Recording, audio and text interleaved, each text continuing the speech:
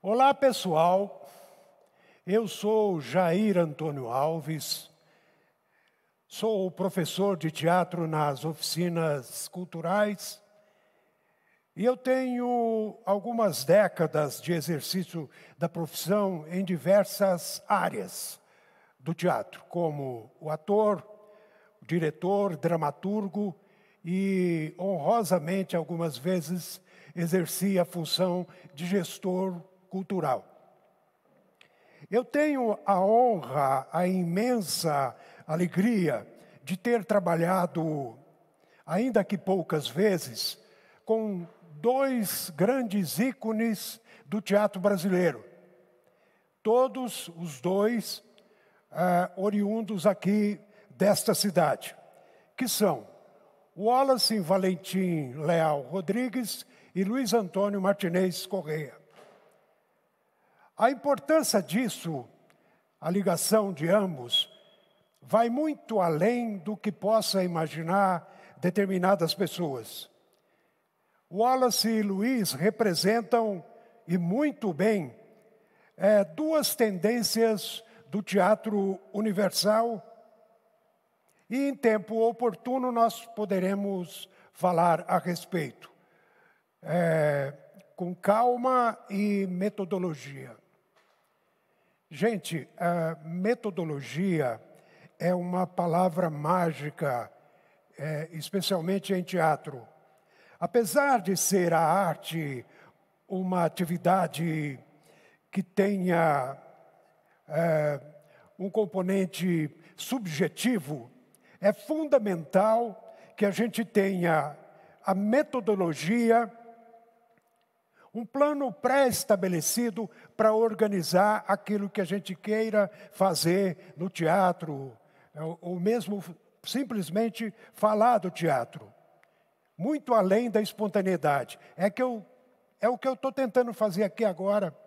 Eu pensei em alguns assuntos, em alguns temas que poderia, num prazo curto de 15 ou 20 minutos, ser bastante útil para vocês que estão dando a honra de me ver e ouvir nesse momento. Eu dou um exemplo prático que é fácil de guardar, da importância da praticidade e da organização. O teatro surgiu há milênios de anos na Grécia Antiga, é, junto, concomitantemente, com duas outras atividades e muito importante para o ser humano. De um lado, a, o, o tribunal, onde se discute, onde se aplicam as leis, e o, o, é, o outro segmento, que é a, o Senado, a Câmara, a política de um modo geral. Né? Onde são escolhidos pela maioria ou de alguma outra forma é, escolhidos representantes que venham a dirigir esse grande coletivo que isso se chama Estado. O teatro, portanto, nasceu com o início da civilização. Eu vou fazer um resumo uh, da minha história ligada ao teatro e à cidade, mas é, poderia ser a história de qualquer um outro, por exemplo, do Wallace e do Luiz. Ah, o Wallace tinha a, a idade da minha mãe, por exemplo. É, o Luiz era dois anos mais novo do que eu. E é, quando Wallace veio fazer teatro em Araraquara, quando ele começou a fazer teatro, a gente não tinha nem sequer televisão. Era só o teatro, a diversão para a coletividade, a manifestação era essa. O Luiz, por outro lado, depois de muito fazer pela cultura, pelo teatro, o Luiz Antônio Martinez Correia, é, depois de fazer muito pela cultura brasileira, ele finalmente chegou às portas da televisão, foi contratado pela televisão. Seria a grande oportunidade dele ter um ganho mais substancial e o reconhecimento de tudo que ele já tinha feito. Infelizmente, é, aconteceu algo terrível na vida dele e que esse aqui não é o momento para a gente falar. A gente fala numa outra oportunidade. Ah, voltando à minha modesta história, quando eu comecei, também não havia televisão, ao menos nas cidades do interior. Eu vivi em outras cidades, eu não nasci aqui, eu nasci em outra cidade. E quando é, criança e quando jovem, eu tinha a minha formação é, baseado naquilo que eu ouvia no rádio. E o rádio, então, como disse, não havia televisão, eu ouvia música, as músicas da época, o noticiário e outras coisas, a política, especialmente o noticiário que falava de política e que contava a história de todos nós. Ah, algumas coisas que, que aconteceram comigo na época, aí já em Araraquara, é muito significativo. É, um belo dia, eu fui na Rádio Cultura de Araraquara, que era aqui na Avenida Espanha. Vocês devem lembrar disso. Eu não me lembro o que, que eu ia fazer lá. Só lembro que eu ia falar com, com o Antônio Carlos Rodrigues dos Santos, que era o sonoplasta lá. E a hora que eu estava entrando na porta assim, eu ouvi o som do que estava sendo levado a público naquele momento. Era um som estranho, belíssimo, né? Era o som da bossa nova. Mais tarde a gente veio conhecer como bossa nova. É, esse som entrou na minha cabeça e nunca mais saiu. Mais tarde eu vim a saber que isso tinha acontecido com outras pessoas. O, o primeiro contato com o som da bossa nova. A nossa formação, ela é feita desse jeito, né? Especialmente é, naquele momento, o que estava acontecendo era isso. É, eu quero perguntar uma coisa agora, é o seguinte. Vocês perceberam que da minha pequena história que eu falei, que né, podia ser de outro, é, eu fui gradativamente exigindo que vocês lançassem mão da própria memória. Perceberam isso? É, esse é o princípio fundamental do teatro. Né? Quando você vai no teatro, é um espaço pequeno, um prazo determinado, nunca hoje em dia, nunca superior a duas horas, às vezes uma hora, e aí tem uma representação. Aquela representação, aquilo que o personagem fala, leva o espectador a associar algo da vida dele, da memória dele. Por isso é importante, e isso vem acontecendo desde a Grécia Antiga.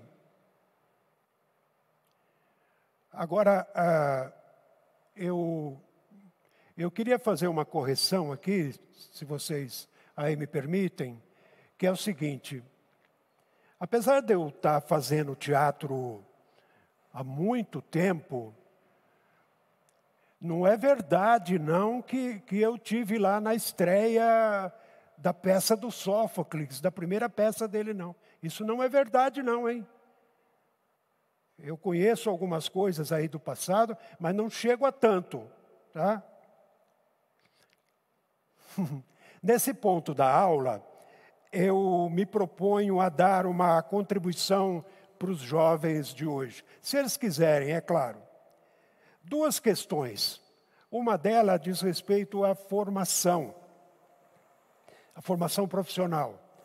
E a outra, que é uma sugestão de reflexão, o mundo muda a cada dia, a gente querendo ou não. Então, é, e se muda é porque uma ou mais pessoas se organizaram, é, adquirir um poder de fazer alguma coisa e promove aquele movimento que acaba, de alguma forma, interferindo na vida de cada um. É isso, é esse o, o momento importante que a arte tem, que é reproduzir, trazer a público, fazer uma representação, é essa a função do teatro, dessa realidade que vai levar a pessoas a assimilar o que queira assimilar. Quando nós começamos aqui em Araraquara, e aí eu, eu já incluo o Luiz Antônio, como eu disse, não tinha, não tinha televisão, só o teatro. A, a, perdão, a televisão existia, sim, mas era, era muito incipiente naquele momento década de final da década de 60. É, escola de teatro não havia.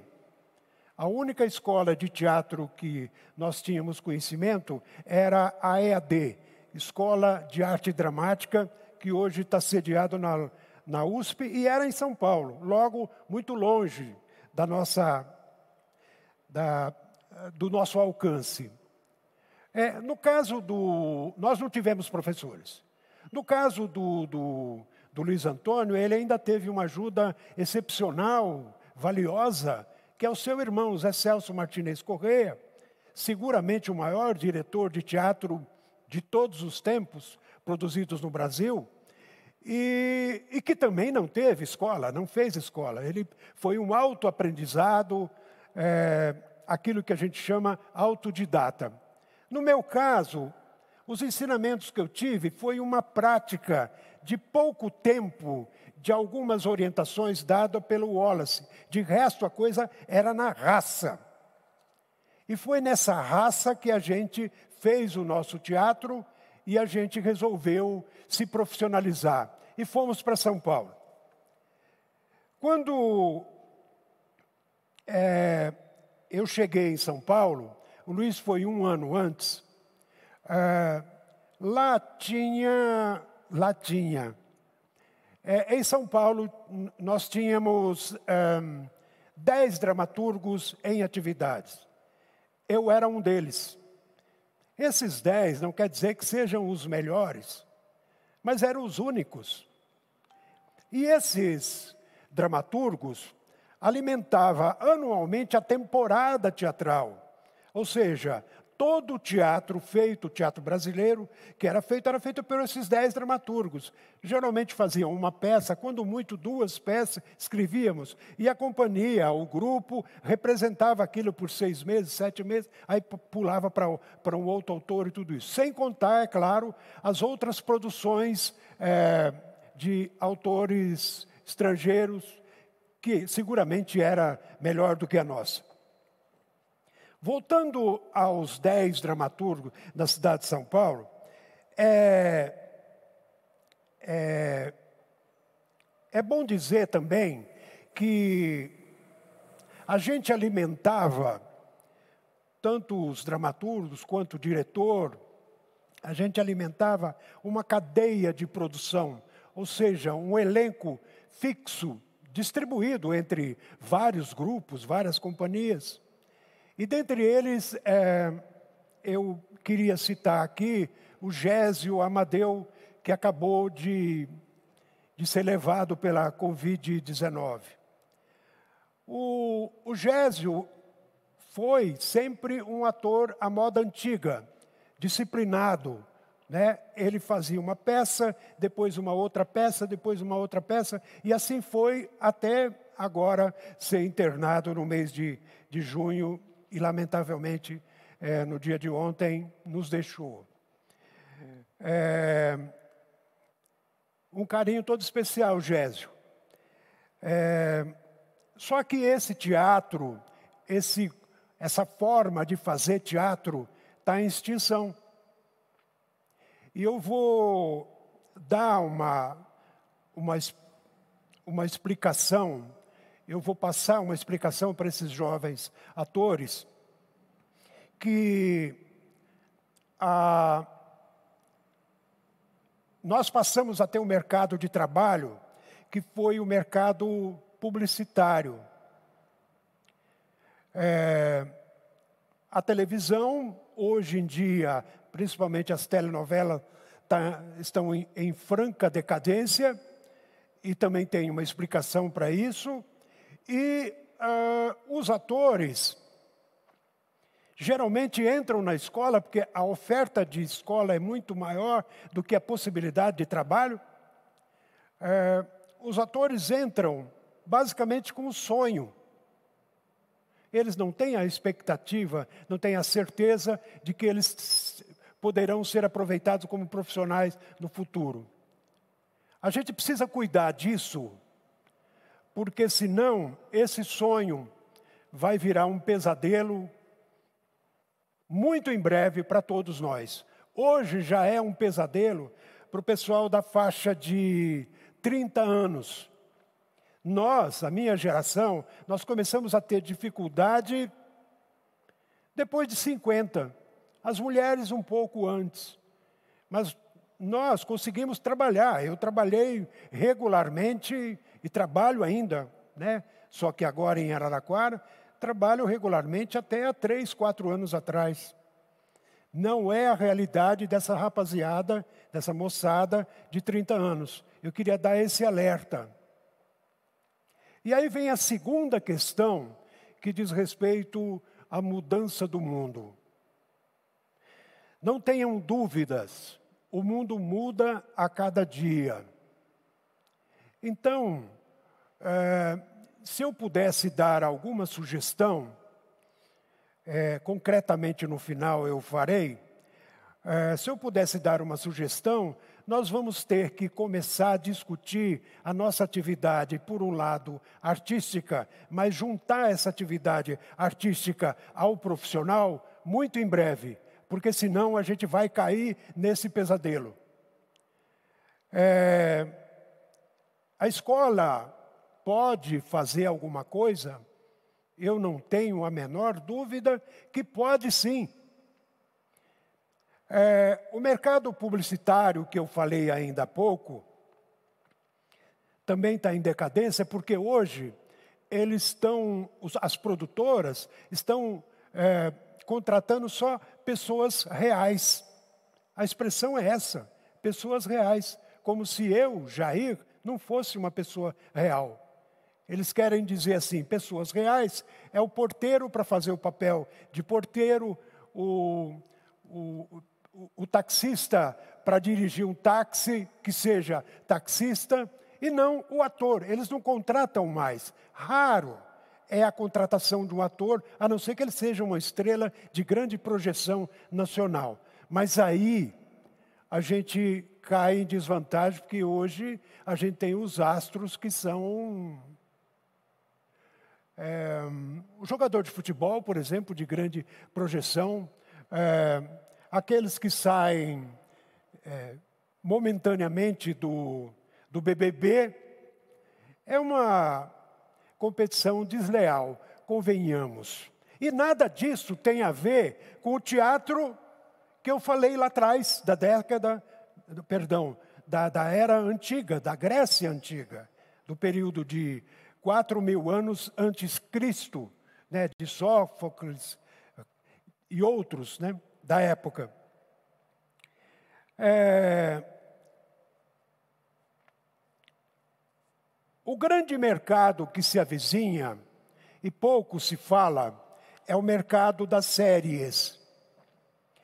É, ele é bastante desenvolvido e a rapaziada aí pode começar a estudar, começar a ler. Vai ver que nos Estados Unidos isso é uma realidade mais forte do que as produções de Hollywood. Na Europa, a mesma coisa. No Brasil, é um Deus nos acuda. Porque como a gente se assume como subdesenvolvido e não deveria ser assim? A cultura brasileira é extraordinária. Se a gente olhar para trás dos últimos 50 anos, ou mais que isso, dos, desde da semana é, de 22, que agora o ano que vem nós vamos fazer um século, nós vamos ver que são coisas extraordinárias. coisas extraordinárias produzidas aqui, inclusive nesta cidade. Então, não há por que ter esse complexo de vira-lata.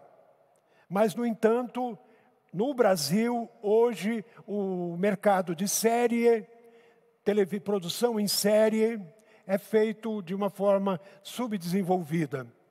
Eu proponho que as escolas comecem a discutir em profundidade, as, as escolas de teatro comecem a discutir como perspectiva de trabalho, mas não só isso, perspectiva do desenvolvimento da arte também.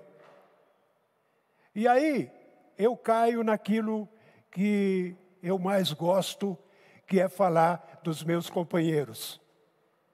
Dos meus companheiros, de professor, os professores das oficinas culturais. Nós podemos fazer alguma coisa por essa rapaziada que está chegando, muitos deles criança ainda, nós podemos fazer muito, desde que a gente leve a sério a nossa própria história.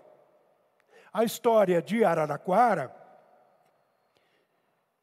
como de qualquer cidade do interior, com qualquer longínquo do, do, Brasil, é, tem histórias incríveis, né? Então eu proponho, eu sugiro que comecemos a, a desenvolver histórias, desenvolver um teatro com o conteúdo da vida dessas pessoas que moram aqui, muitos deles já ultrapassando a muitos aposentados, né? Então, uh, mas não só isso, não só os aposentados, conteúdo que trate das minorias, uh, dos negros, dos homossexuais, dos, dos, do grupo de risco, dos idosos, das pessoas bonitas, das pessoas feias, das pessoas que sabem dançar que não, ou das que não sabem dançar, eu proponho que a gente faça isso. E tão logo termine essa pandemia e nós vamos terminar, olha a minha arma aqui, ó. Quando terminar, eu estou de braços abertos, aí podendo abraçar cada um, né, para falar dessa modesta história de 50 anos de teatro que teve início aqui em Araraquara. Gente, pena que eu não tenha mais duas horas para ficar com vocês.